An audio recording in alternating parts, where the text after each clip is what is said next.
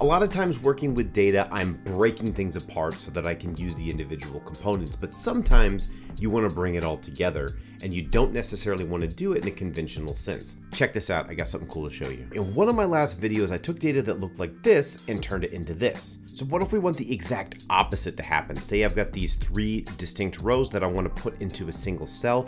No problem, we're going to use combination TEXTJOIN and a character 10, which is the line break. I'm to go equals TEXTJOIN the delimiter here is what you want to separate each of your values. I'm going to go ahead and write C-H-A-R parentheses 10. That's just the character code for a line break. Now I'm going to go comma.